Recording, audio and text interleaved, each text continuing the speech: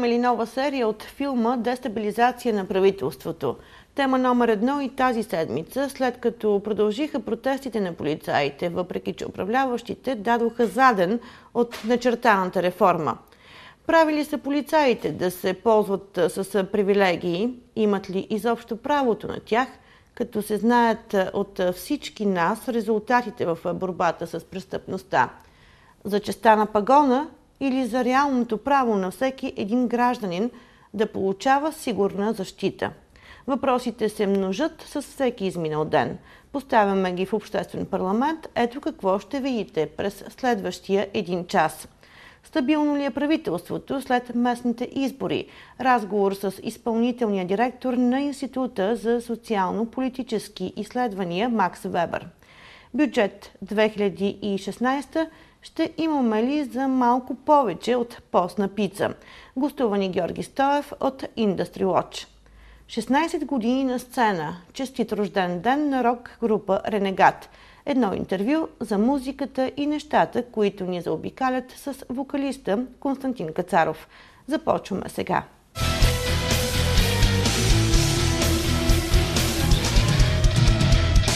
Първият ни събеседник днес е Георги Стоев от Industry Watch. С него ще си говорим за економическите теми от седмицата, които са доста на фона и на бюджет 2016, който вече стои на дневен ред пред депутатите. Добре дошли! Здравейте!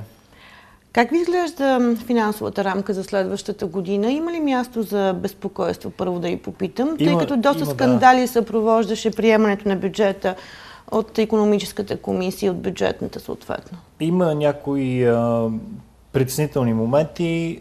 А, на макроекономическо ниво а, влизаме в една година, която вероятно няма да е толкова добра, колкото 2015. Може би това малко ви изненадва, че 2015 е била добра година сега в Абсолютно. края на годината, но 2016 е вероятно да бъде по-лоша.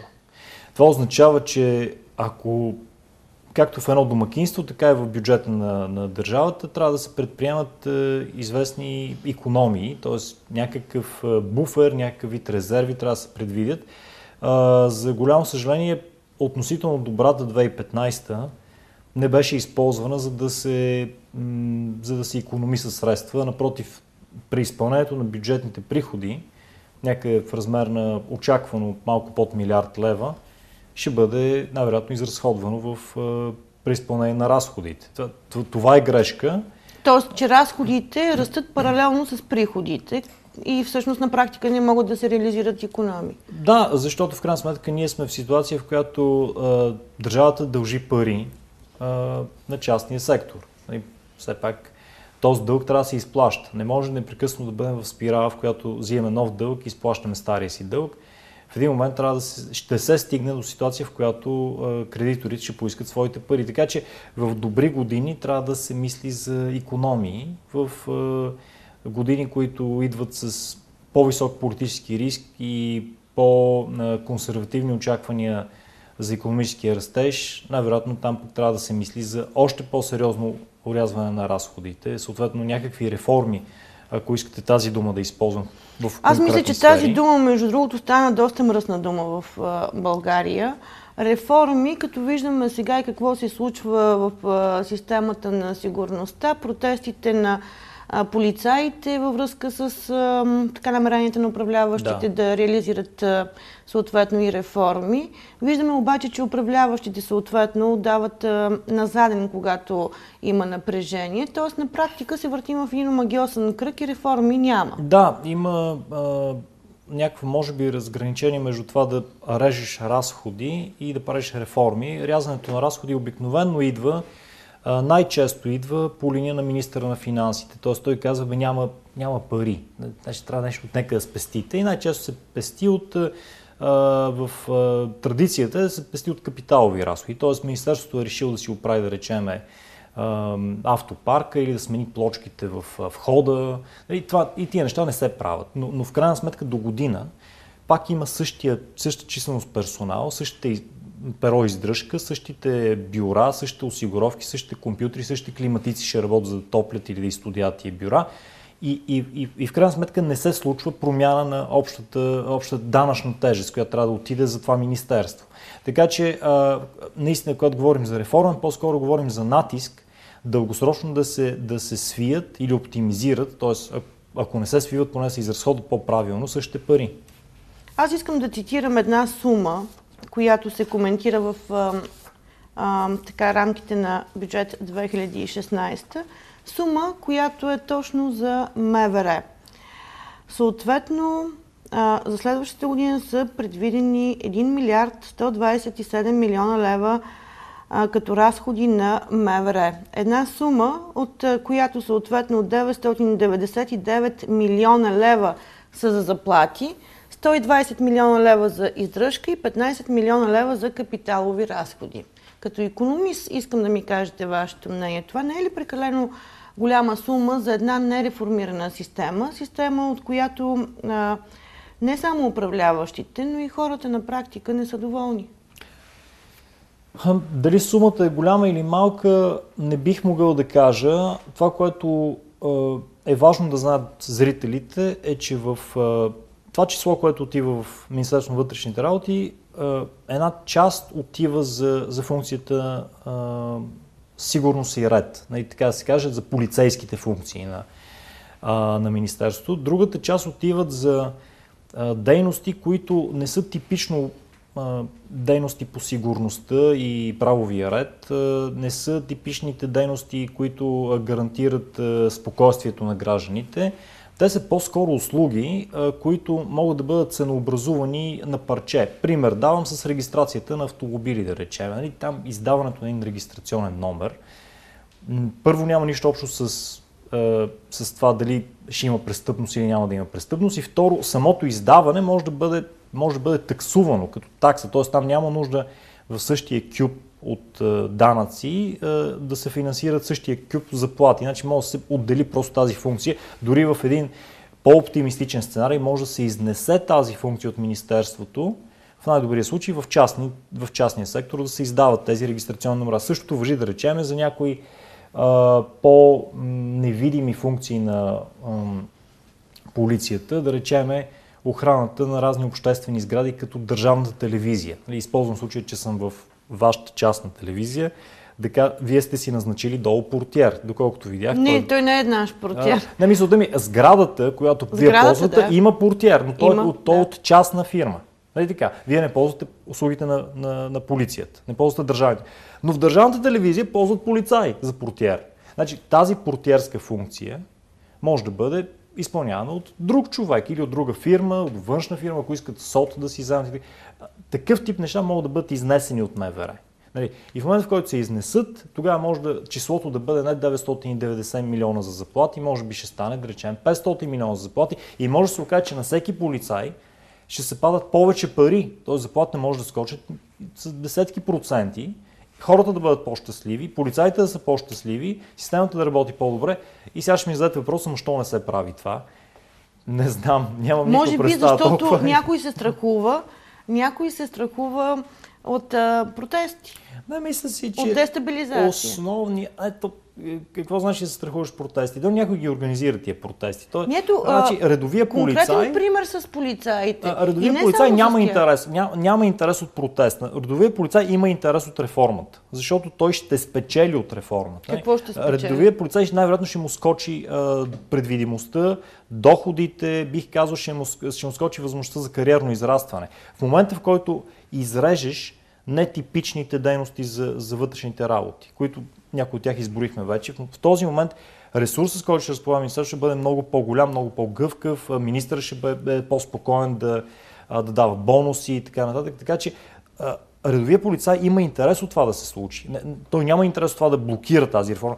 Интерес, който аз лично съзирам е на синдикатите. Това е единствената организирана политическа клика, която пречи на някакъв вид смислени и рационални реформи, това са българските синдикати. Тоест те използват случая, за да се намесят в един очевидно политически конфликт, за, за да вземат своя, да кажа, така да го кажем, своята част от властта. Нали, очевидно нелегитимна, защото никой не е избирал от синдикатите, но те пък е, организират протести. Така че Ако си говорим за, за това кой има интерес, единственият човек или хора, тясна група хора, които имат интерес от това да има протести, са българските синдикати.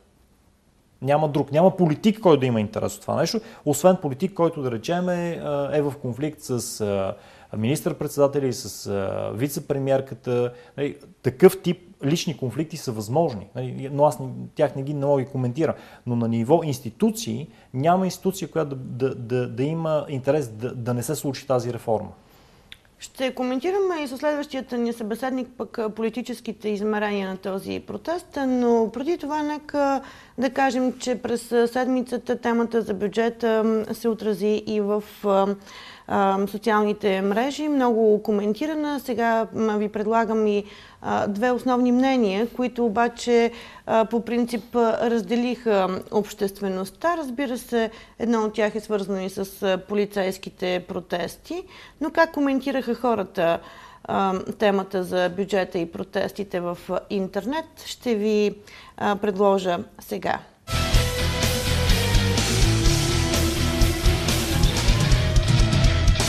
Разбира се, най-страшното е, че ще започне да ни липсва Дянков. Поне не беше зад колисен като Горанов, твърди един от участниците в форумите. А друг пък казва, ми като нямат полицаите коли да патрулират и пари за амуниции, най-добре е полицаите да си седят по къщите и да си лапат заплатата на спокойствие и без това все едно, че ги няма. Господин Стоев, така всъщност хората коментират. Е, прочетах само две мнения, но те като цяло всички в е, социалните мрежи са сходни. Да, има очевидно е, някакво неразбиране а, на това какво точно иска министъра на финансите, какво точно може да направи министъра на вътрешните работи и кой пречи на всичко това. А, неприятното в цялата тази ситуация е, че цялата политическа отговорност е, или голямата част от политическата отговорност се стоварва върху министра на финансите. Без да го защитавам него лично или без да казвам, че Дянков беше по-добър министр на финансите, това не е редно да е така. Значи, политическата отговорност за, за това как работи едно министерство, дали е, спазва бюджета си, дали е, отива в преразход, дали е в дефицит, е, дали хората са щастливи, които работят в него, е на министъра на неговия политически кабинет. Това не е на министра на финансите. Министър на финансите е човека, който а, е назначен, за да бъде а, гарантирана финансовата стабилност на страната. Тоест, той знае, че от българския гражданин може да вземе определена сума пари като данъци. В един момент просто хората не могат да платят повече данъци, те ще спрат да работят и да правят бизнес. А, и казва така, нали, ние ги имаме тези пари, но трябва да решим за какво да ги изхарчим. Нали, айде ще скочат с още милиард приходите при една добра ситуация. Но този милиард може да отиде за училища, може да отиде за болници, може да отиде и за полицаи. Но, но не е негова отговорността той да реши това нещо. Не, не, не, не го решава той. Това нещо. Добре, но той е човека, който насочи... защитава бюджет 2016. Така е, че през него... Така през него минава и в този ред на мисли. Той го защитава като макрорамка. Нали? Той, той казва, нашите очаквания за економиката са такива, а, лек ръст номинален на, на брутния вътрешен продукт, оттам лек ръст на, на приходите, лек ръст на разходите, но не може, ако това министерство продължава да харчи с 300 милиона повече, отколкото сме му дали в бюджет 2015 и до година, ако иска 500 милиона повече, ние няма откъде да ги вземем. Нали? Освен ако министър на здравеопазването не се съгласи да ги вземем от, да речем, от а, а, издръжката на, на някои болници, примерно. Нали? А, или министра на образованието каже, добре, съгласен съм да не отиват за, за, за учителски заплати, нека отидат за полицаи. Но това решение не е само на един министр. А, така че обществената енергия, която се насочва към министра на финансите, а, смятам, че, че не е правилно насочена възможно е министър на финансите да изгърми като бушон в политическа криза. И възможно е министър Както се случи с Дянк. А, да, това, това са, но това не спаси правителството. Вижте, това, това се случи с Варофакис нали, в Гърция, но това са явно нормалните политически приеми, когато един министър-председател започне да се клати, дали той трябва да, да има няколко бушона, които да гръмнат преди той да гръмне.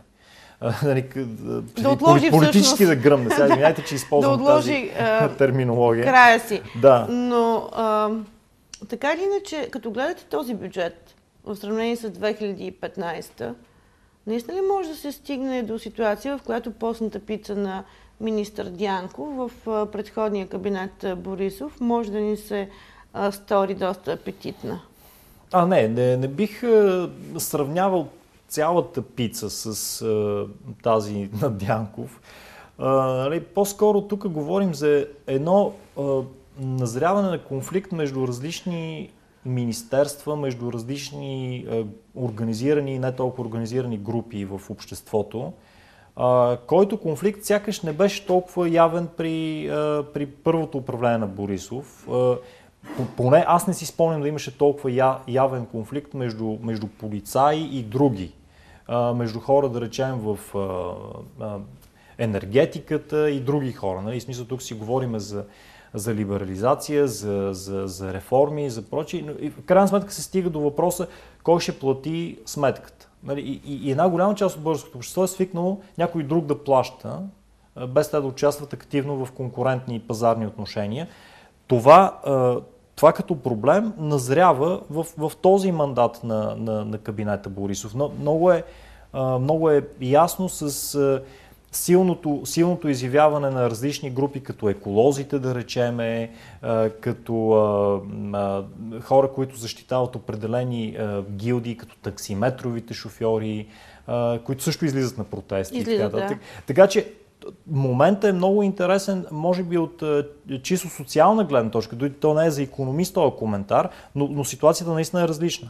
Ще ви върна обаче отново към а, економическите измерения на бюджет 2016 и съответно ръста, който можем да очакваме. 2% коментират а, съответно експертите. Дали обаче имаме реални основания да смятаме, че следващата година е възможен економически ръст от 2%?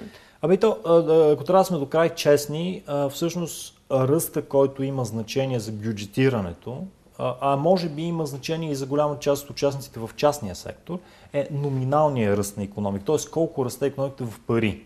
Това, това, това реалното измерение, измерено в а, машини, в домати, в а, кашкавал, нали, в реални количества. А, дисконтирания а, номинален брутен вътрешен продукт през а, а, инфлацията или поскъпването на тези стоки е сметка, която е интересна, статистически важна, и участва в редица модели и така нататък. Но, но, но за бюджетирането за следващата година, това, което има значение, какъв ще е размера на пицата, измерена в левове. За да можем да отрежем от нея там 40% или колкото се целиме политически, това вече е политическото решение, и, това, и тези пари да се разпределят в хората, които чакат от бюджета. Така че, а, нека припомним, че 2015 ръстът, измерен в левове или в евро, много изненада управляващите. Той беше 4 милиарда плюс се промени брутен вътрешен продукт спрямо, прямо предходната година и тези 4 милиарда дойдоха като бонус, като, бонус, като, като плюс, който никой не очакваше. Спасителен пост за правителството. А, вижте, дори в, при прогнози за а, консервативен, реален ръст на, на брутен вътрешен имаше много сериозен номинален ръст, който всъщност гарантира на това правителство, че ще вземе още милиард, може би милиард и 200 милиона, повече екстра от данъци. И тези милиард и 200 му идват като, наистина като бонус. Нали. А, до година това може да не се случи. Тези 4 милиарда плюс може да ги няма. Може ръста да речем да бъде милиард или да няма ръст номинален. Но и може да има, да речем, дефлационна динамика. А, и дори да има реален ръст, заради дефлацията да имате запазване на номиналните числа. Това се случи, между другото, през годините, ако не се лъжа, 2010-2011 имахме такъв, такъв момент. С маничък реален растеж, едно и малко, но економиката се запази като пари. И ако питате хората а, на улицата, добре, парите увеличиха ли в вашите животи? Е, не бе, също Естествено, да. И, има реален ръст, обаче пък... Никой не го усеща. Обаче парите също. Между другото, а, нека от гледна точка и на нашите зрители да поговорим а, на фона на бюджета 2016, тъй като ето сега цигарите скачат от а, нова година. А, предстои либерализация на цените на тока. Там пък а, енергийни експерти очакват а, това да доведе до трусове съответно и до по-високи цени на електроенергията. Тоест, от гледна точка на домакинствата, има ли сериозни притеснения? Можем ли да се окажем в ситуация, в която заплатите в България на практика да не стигат за съвсем нищо? Защото сега, нали, също има спорове. Ами колко са високи, с, колко са ниски, за какво стигат възнагражденията. Нещо, което може би е леко в рамките на шегата. Аз не съм пушач, нали, все пак, нали, понеже жена ми е пушач. Но ползвате ток. А, да, ще, ще, ще говорим за тока. Но, но си мисля, а, нали, при, при поскъпване на някои стоки и услуги, а, потреблението на човек се променя.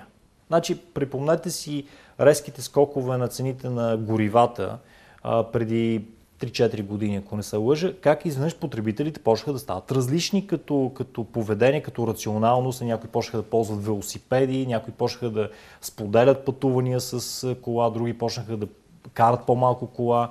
Нали, и, така че в такива ситуации нали, не, не означава, че просто изведнъж ще изчезне потребителски бюджет. Нали, просто ще се насочи към други, към други а, пера. А, това, това конкретно за цигарите е отговор на въпроса а, ви. А конкретно за тока, ай, стока, която е еластичността на търсенето е много по-ниска, т.е. хората трудно могат да, да спрат да потребяват ток. Това е нещо, което е важно за тях. Въпреки, че има някои възможности да се оптимизира а, потреблението на ток в едно домакинство, най-големия, не, не знам дали знаете, че най-големия е, енергопотребител на домакинско ниво е охлаждането на жилище, не отоплението. Не знам това дали да изненада за вас или... Да, честно казано, да. А, да в България най-много ток домакинствата харчат за да си охлаждат жилищата. Сега, а... Със сигурност обаче това няма да е тема, поне през зимните месеци. Точно така, да, не, не, не. Но не, може ли да, така, има ли опасност да ни чака Жан Виденова зима? Не, не, не, не, няма, не, не говорим за такива апокалиптични сценарии. Значи в момента сме в ситуация на парична стабилност, през валутния борт няма политическа заплаха, т.е. консенсусът е стабилен за това, че стабилността на парите е важна. А, банките работят добре, а, не очакваме а, сътресения нито на системно ниво, нито на индивидуално ниво. Нали, на хората нека все пак са внимателни къде си слагат парите. Нали, спомена от КТБ още, има, още остава горчив вкус в устата. Но, но, но ня... само за някой горчив вкус. А, да, да, искам да кажа, а, не очакваме някакви шокове, които да накарат българина да е беден през януари. Нали, нямаме такъв тип ситуация, но имаме ситуация, в която правителството все повече се отпуска а, точно заради това, че няма шокове и все по-малко набляга на важни реформи, които в един момент, а, рано или късно, лека по лека ще почнат да, да, да нагнетяват обществената енергия и, и, и тогава, нали, без да говорим за Жан Виденова зима, без да говорим за липса на продукти по магазините, всъщност хората пак може да излезат на, на улицата и пак да свалят правителството. Добре, благодаря ви за това участие. Ние тази тема продължаваме след секунди с гледната точка на един много известен социолог, също бивш депутат и също човек, който дълги години се занимаваше с Сдружение Честни избори. Продължаваме след секунди.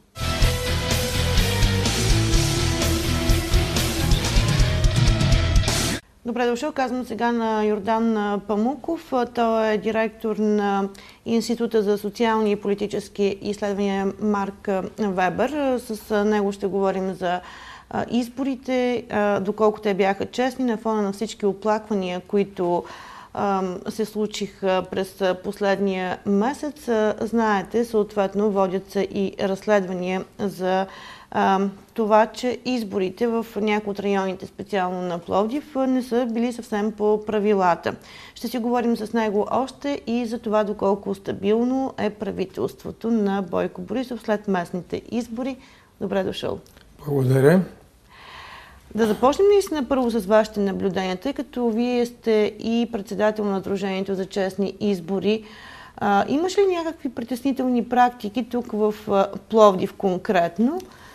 Разбира се, е, купуването на гласове е най-сериозният бич върху е, развитието на демократичния процес изобщо. Е, това е едно нещо, с което политическата класа в България не може да се справи. За съжаление, всички политически партии купуват гласове независимо дали е доказано или не. Но абсолютно всички участват в този процес. И може би това е основната причина, поради която не можем да се справим с този проблем.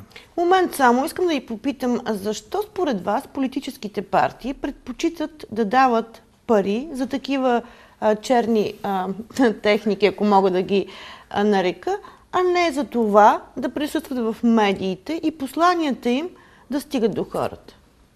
Вероятно, защото този инструмент, ако мога така да го нарека, купуването на гласове е по-лесния, който дава по-голяма гаранция за успех. Докато ти трябва да имаш подготвени хора, които да се явяват по медиите, които да са убедителни. Нямат ли да партиите са, такива хора? Които да са неопетнени, не, не, да няма съмнение върху тяхните, тяхния морал, техните качества – изглежда нямат. И затова биха, даже ако ви направи впечатление, тази годишната предизборна кампания беше много вяла, с почти никакво участие на да, някои от при условие, че ставаше въпрос за местни избори, при условие, че помним едни други кампании, в които политиците от различни политически сили не излизаха от студията и се опитваха все пак посланията им да стигат до хората. Да, точно така е, но аз ви казах пак, купуването на гласове е по-лесният вариант, а в природата по принцип всичко се движи по линия на най-малкото съпротивление. В случая точно така стават нещата. Как ви се струват резултатите от изборите в Пловдив? Всъщност логични ли са или по-скоро будят съмнение? Ами, Разбира се, че будят съмнение. Будят съмнение. Това, което имам като впечатление и обобщение от наблюденията на нашите наблюдатели и техните доклади, е ясно, че всички партии, участващи в предизборната кампания, купуваха гласове, което е много трудно доказуемо. Значи, е, от една страна е,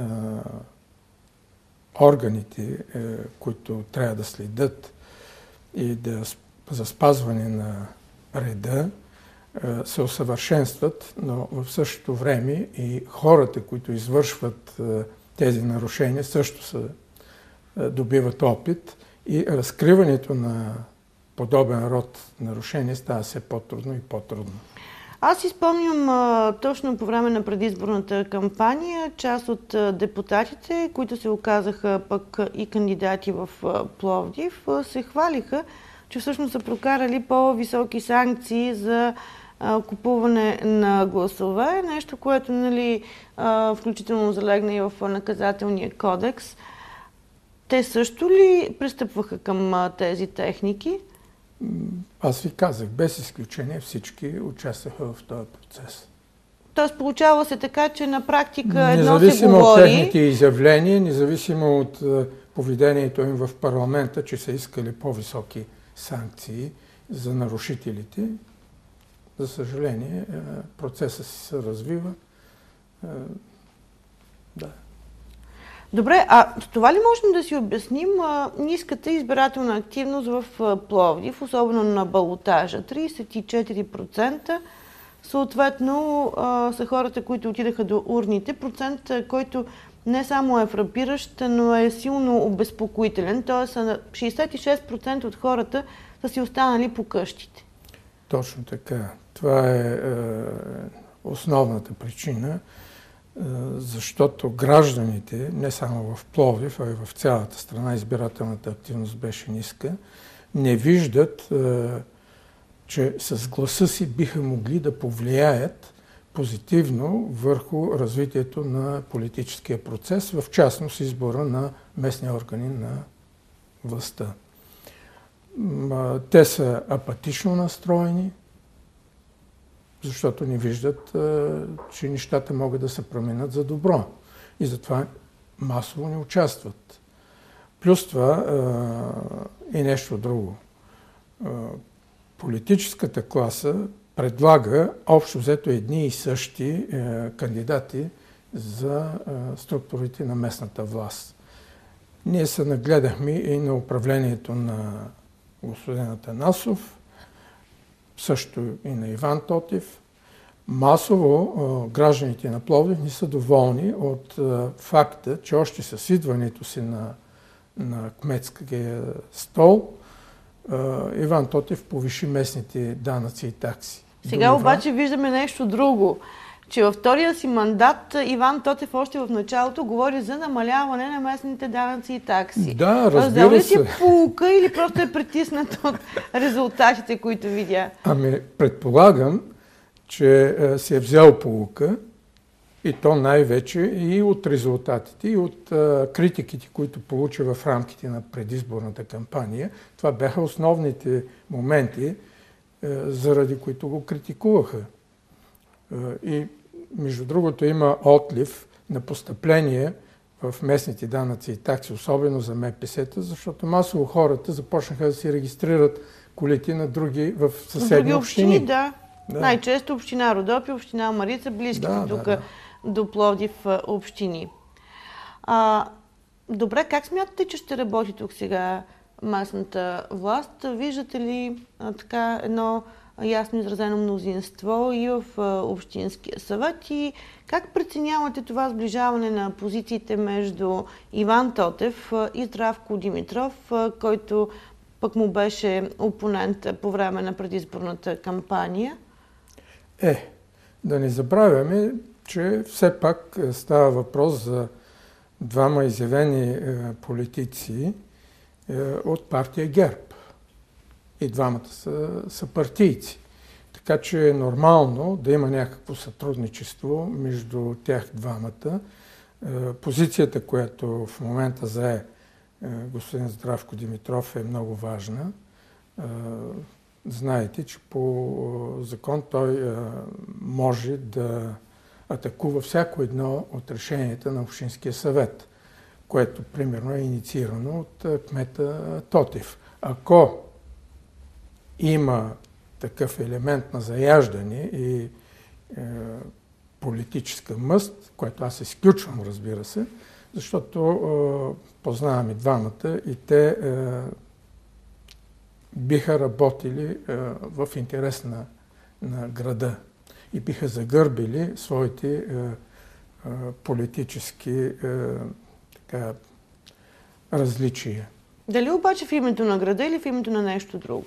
Е, ако е в името на града, звучи по-добре.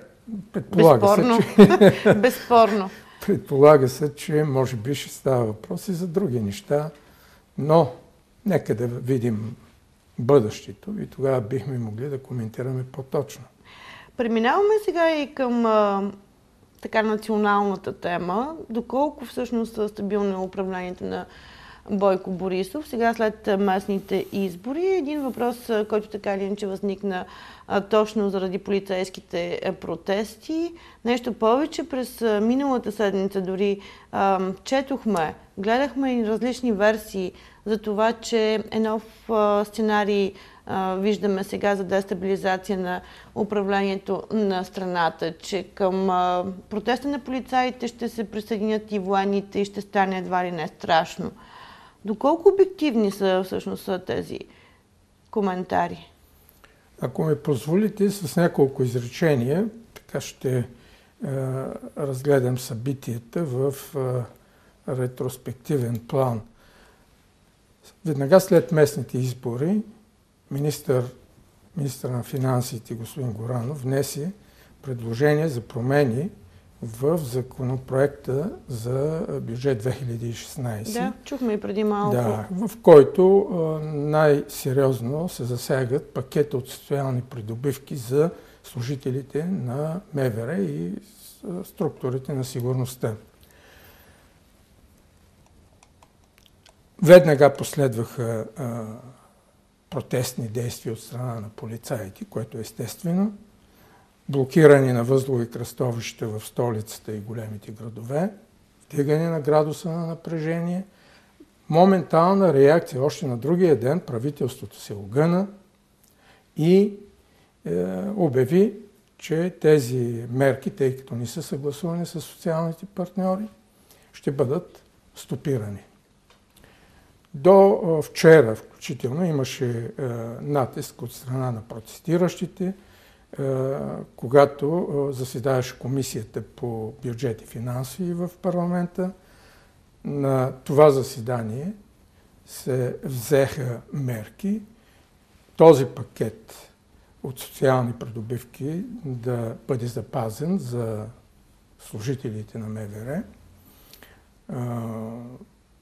като и е, от двете страни, имам предвид и парламента и правителството от една страна и синдикатите от структурите на сигурността от друга страна бяха, обявиха категорично, че реформи са необходими, системата е нереформирана, реформи са необходими и че от следващата седмица започват разговори за предприемането на мерки за реформи. Аз обаче сега ви предлагам темата за полицейския протест да погледнем и с чувство за хумор в редовната ни рубрика.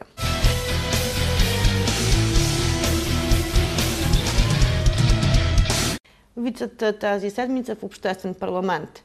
Полицай спрял автомобил. Шофьорът очудено го попитал. Защо ме спирате? Никакво нарушение не съм направил. Полицаят нервно отвърнал. Семейството ми да чака нарушение ли да направите? Всъщност, като че ли този вид обаче дава и а, определена оценка не за цялата система, но за порочните практики в а, системата на МВР. И точно а, за това някакси като че ли полицейският протест, поне сред мислещите хора, не намери подкрепа, защото всъщност всички българи очакват една реформирана система на МВР, такава, която всъщност да гарантира тяхната сигурност. А виждаме възрастна жена прибита в дома си. съответно, реакцията на министра на вътрешните работи, който твърди, че полицейските служители са си свършили работата. Но случаите на смърт сред тези възрастни жени, не само, си остава. Безспорно, системата на МВР е нереформирана. Над 90% от бюджета за МВР отива за заплати. Ниска ефективност от работата на служителите на МВР. Почти никаква разкриваемост, вилнееща, битова и всякакъв вид престъпности. Определено е необходимо а, да се реформира тая система и за това тя не получи, протестите на полицаите не получиха абсолютно никаква подкрепа от а, гражданското общество. А, може би ще ми зададете въпроса кой имаше интерес. Да. Има и такива конспиративни теории. Има. Примерно, според някои анализатори, премиера Борисов е инициирал или се е възползвал от протестите с а, почти мигновената си реакция да отмени а, съответните мерки, предвидени от Министерството на финансите. По този начин той а, бихме могли да разсъждаваме в две, в две посоки. Това е към коалиционните партньори на политическа партия ГЕРБ, които по време на кампанията и в самия изборен ден така вирнаха нос някои от тях. Борисов обяви, че ескалацията на напрежението би могла да стигне до такива нива, че да се отиде на пресрочни избори, които по един категоричен начин ще бъдат спечелени от политическа партия ГЕРБ, дори нещо повече. Прогнозите са, че те биха имали абсолютно мнозинство в следващия парламент. Колко обаче те са основателни тези прогнози, защото видяхме какво се случи Ами, виждаме, че абсолютно всички останали партии са в застой.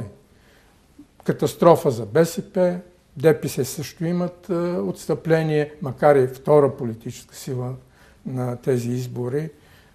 Реформаторите, може би, биха запазили е, позицията си, но за останалите има съмнение дали изобщо ще влезнат в парламента. Не само те сега са коалиционни партньори, имам предвид АБВ и Патриотичния фронт.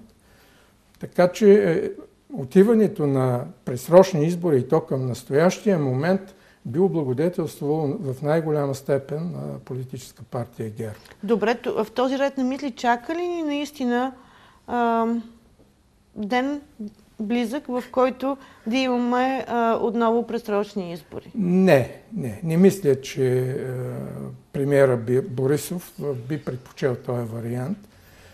По-скоро а, той а, го направи с цел да дисциплинира своите партньори в коалиционното управление. И това се получи.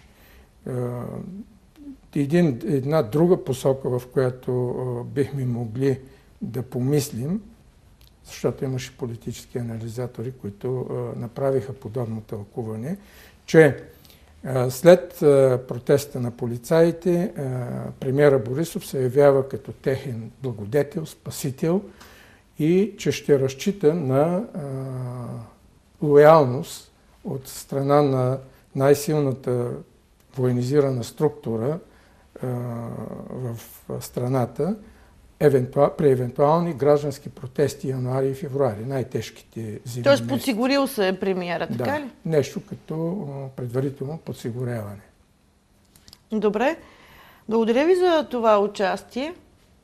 Благодаря и аз. Надявам се все пак, че наистина няма да имаме пресрочни парламентарни избори, защото така или иначе всеки вод, такъв, който е предизвикан, крайна сметка води и до дестабилизация на страната, поне за няколко месеца. А ние продължаваме след секунди с още един интересен събеседник, но с него ще си говорим не само за това, което се случва в страната, но и за музика.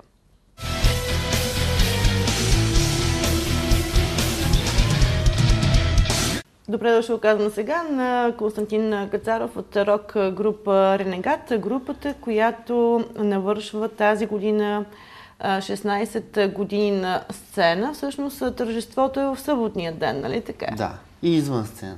Извън сцена. Защото първите години бяха извън сцена.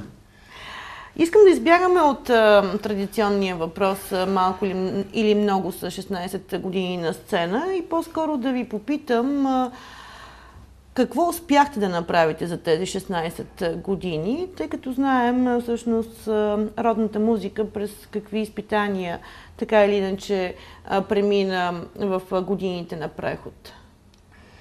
Аз за изпитанията няма да говоря, защото това е една банална тема.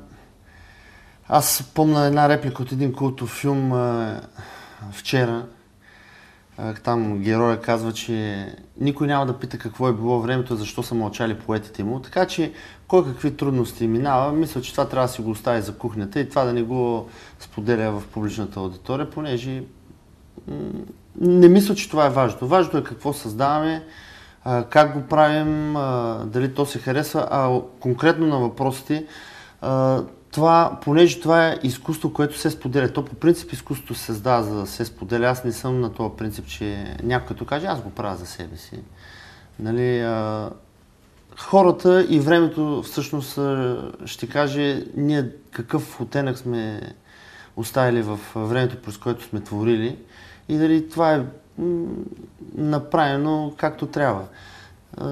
Аз само мога да кажа, че ние наистина сме работили с а, огромна любов, с, огло, с огромна страст и смятам, не знам дали 16 години са малко или много, но а, смятам, че извървяхме дълъг път, през който се усъвършенствахме, имахме спадове, имахме и възходи, но смятам, че направихме нещо наистина стойностно и дай Боже да сме живи и здрави да продължим а, по същия път, защото за мен е това, което направихме, наистина ме удовлетворява и ме кара да се чувствам пълноценен и щастлив.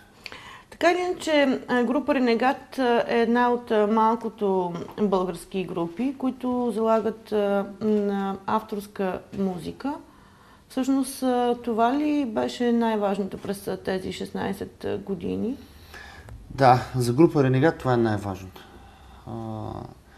още когато създавах групата, когато имах идея нещо да се направи, защото то беше студиен проект, в който така убивахме времето и страстите си. Аз казах, че ако проектът трябва да, да съществува и да бъде, ние ще правим само авторска музика и ще пеем само на български язик. Това ми беше условието. При никакви други условия нямаше да съгласа Ренегат да съществува. Защо? Защо само на български? Ами това е, това, ами това е моята мисия. Аз това мятам... патриотизъм ли е. Ми, пак ми звучи клиширано, защото, да, клиширано, защото, аз за това защото има разни информации, такива патриотични, които аз не ги много долюбвам и а, затова не искам. Това не, това не е патриотизъм, това е, това е мисия. А, в крайна сметка ние, а, ние правим нещо, в смисъл създаваме текстове, които смятам, че са стойностни. Аз искам те да бъдат чути. Да, сега някой ще каже те на английски. По, това е мой роден език. А, мен ми омръзна, а в същото време не съм аз този човек, който ще каже кой на какъв език ще пее, но имам чувство, че всичко живо а, пее на английски само и само да бъде забелязано. Не знам, други пък намират оправдание, че така звучало по-добре. А, не знам. Аз а, знам, че това е най-неблагодарният начин да тръгнеш да правиш авторска музика, когато ти си абсолютно непознат.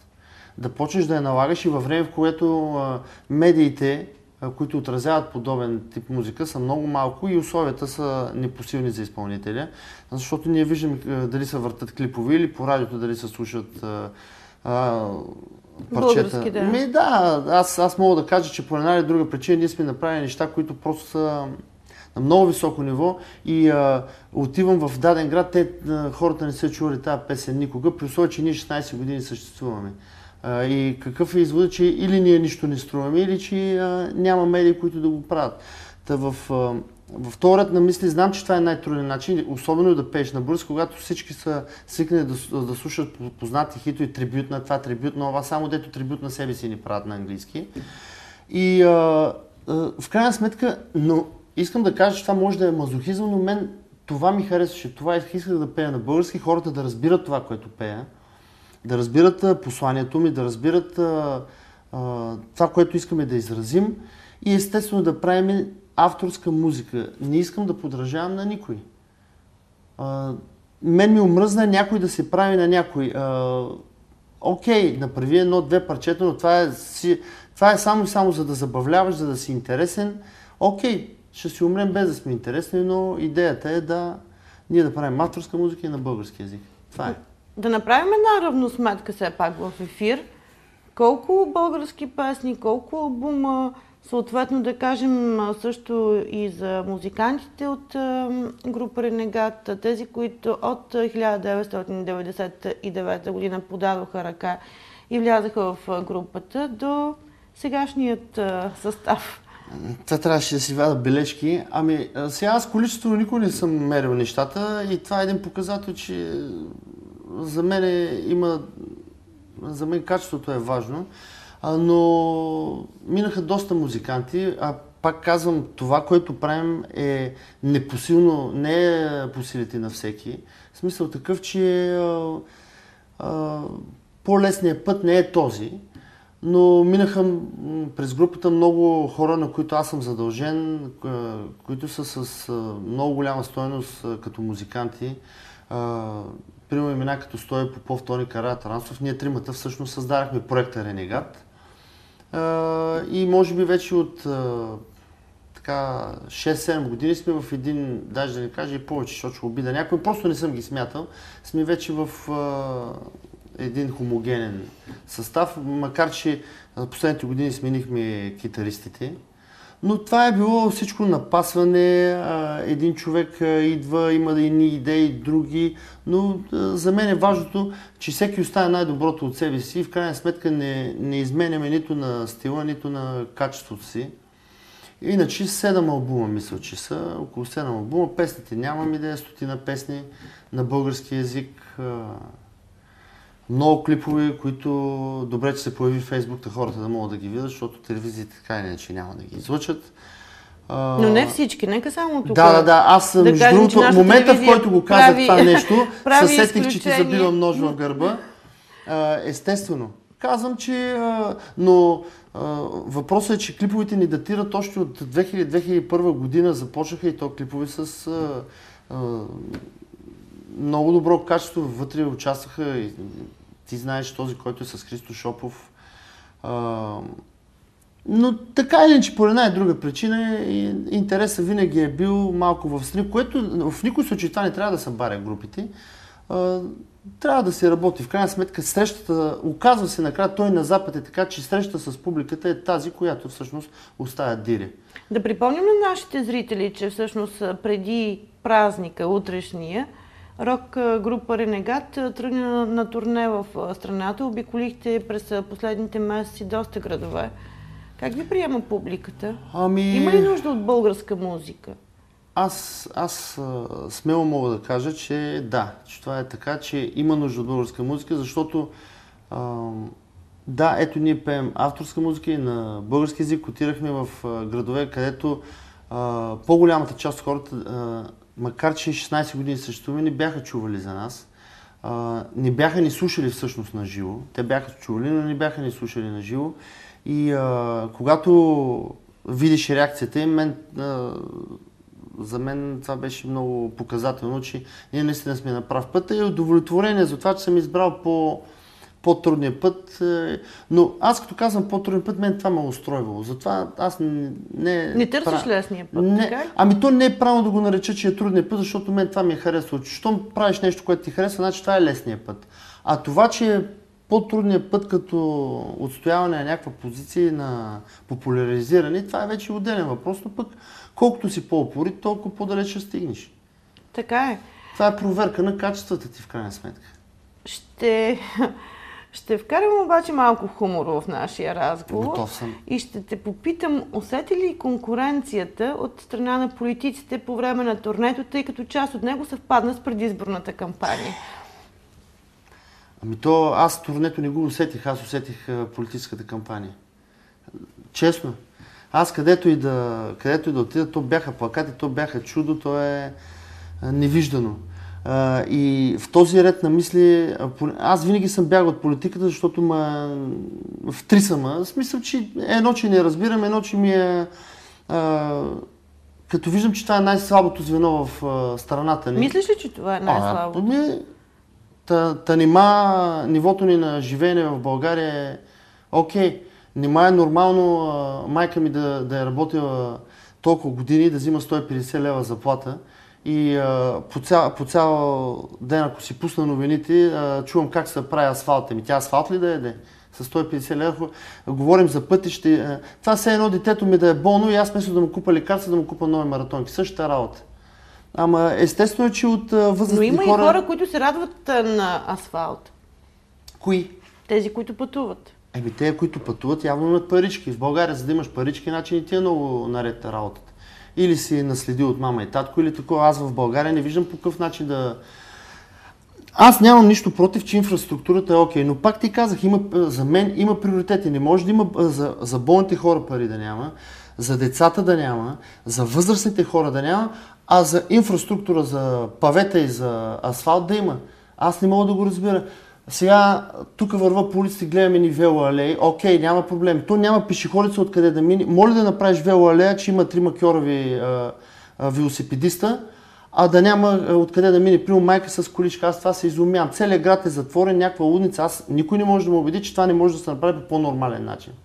Всички кръстовища са затворени, някакво безумие се едно, едва ли не дай да натрапим, че ние нещо правим. И, а, маничи и грозно, и цвета е грозен и изобщо криво е всичко като такова. Но... Едно мнение на Константин Кацаров, обаче да те е. върна сега отново към музиката. Давай, че това другото ще се обрина. А, и да те попитам от тук нататък какво предстои пред рок група Ренегат, преди да поговорим и за самото тържество утре. Ами, рок група Ренегат ще продължава да прави авторска музика, ще продължава да прави на български язик, ще продължаваме да пропагандираме а, това, което правим. Аз не, не на празно на всеки наш концерт казвам, много се извинявам на всички, но ние ще пеем само авторска музика и на български язик. А, след, може би, в началото на другата година влизаме в студио да записваме нови неща. И общо взето тривиалните неща за една група, която държи на себе си. Авторска нови песни? Музика, да, да, задължително. Една група съществува, когато има пот от това, че тя съществува. Иначе всичко е просто. И а, единствената ми така, мо, а, така към себе си имам едно пожелание, а, никога тази страст да не угасва или поне да продължи възможно най-дълго. Пожелаваме ти го и ние, но аз все пак а, ще те попитам какви са изненадите, които готви рок група Ренегат, защото знаем, че ти си човек, който винаги има някакви нови идеи. В общи линии добро производство на идеи. Ами, а, местото ще бъде приятно аранжирано. А, на сцената ще бъдем две сериозни групи, които сме разделили концерта на две части. Естествено, ние ще предложим авторската си музика. А, нашите приятели от Mixed Up, да много казвам на английски както трябва, а, много, много сериозна група, с много сериозна певица, с която между другото двамата вчера записахме дует за един страничен проект. А, а, Една от... А, ще има шампанско за всички. Специално... И в нашото студио също, за първи път. Да, това е подарък студио. от групата шампанско. ни за вас. А, специално 16 годишно отлежало. А, шампанско. А, както казах, а, ще бъде много приятно аранжирана самата сцена и самото заведение. А, ще има сладко една торта, която е произведена на изкуство, в момента се твори от а, майстори в бранша, а, която ще бъде естествено подарък за абсолютно всички.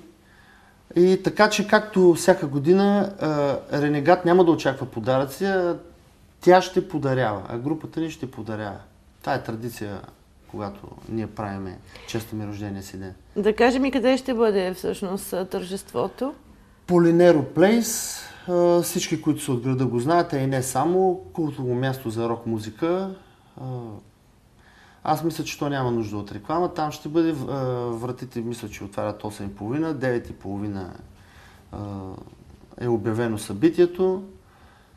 И останалото вече, който дойде, може да го гледа на живо и да прецени как сме се справили. Но аз се надявам да стане един такъв приятен празник, защото отивам много позитивно настроен. Добре. А, и накрая, кой е най-големият успех на рок група Ренегат? Че още съществуваме. Защо? Ами защото ето аз не искам да казвам, но а, пак а, условията, при които една банда работи по този начин, по който ние сме се избрали, не е лек. Не, не е Казвам го, защото ето пример е, че не малко от хората, с които започваме в началото, издържаха на този ритъм и натиск, така да се каже, социален начин на живот, защото не винаги целта оправдава средствата. В чисто материален аспект. Но за мен най-големият успех е, че ние издържахме толкова време и че в момента сме, и то се вижда от... Именно аз затова инициирах този това турне, за да видя ние в каква форма сме и в а, колко е силна амбицията ни. Оказва се, че аз няма от кого се притеснявам. Тъй като успех за това говоря, иначе всяка, всичко, което сме направили за мен си заслужава, не искам да го нареждам на някаква стълбичка. Добре, благодаря ви за това участие. Така или иначе, пожелавам ви много успехи за в бъдеще, но мен ми се иска всъщност да приключим този разговор и с една песен. Една песен, която всъщност е записана от телевизия DCTV, клипа също е монтиран Много сме от телевизията. За и то не е за друго, защото смятаме, че всъщност медиите трябва да подпомагат българските музиканти, за да може наистина да имаме развитие. Затова нека да завършим с нея, тя да е и поздрав за нашите зрители. Благодаря за жест. Нека я видим. Thank you. Mm-hmm.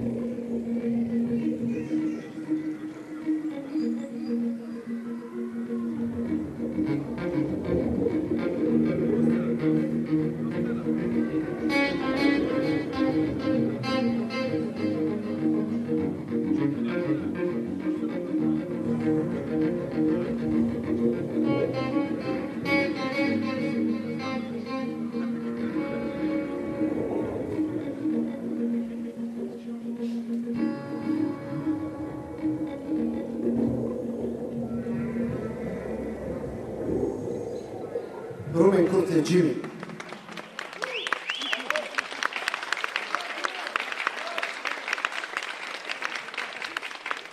И накрая остана да си пожелаем спокойна вечер и приятни почивни дни. Не пропускайте и следващата ни среща. До тогава останете с DCTV.